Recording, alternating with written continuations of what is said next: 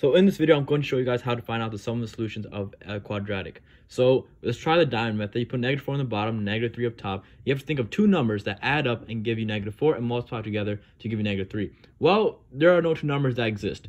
Negative 3, negative 1 obviously don't work. So let's take that out. And now let's resort to the quadratic formula because most students will do that after they find out that, hey, this is not factorable. So we, we have this written out. We put this all over 2a, and this is a quadratic formula. So now let's start plugging in values. You have negative, negative 4, plus or minus the square root of b squared, which is negative 4 squared, subtracted by 4ac. And at this point, you're realizing this problem is too long, right? Like, I'm not about to do the quadratic formula for this entire thing. I can go to New York in that time. So I'm going to show you the fastest way. Negative b over a.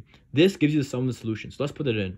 Negative negative 4, which is b, divided by a, which is 1. That equals 4 over 1, which equals 4, which is the sum of the solutions in like 2 seconds. Easy.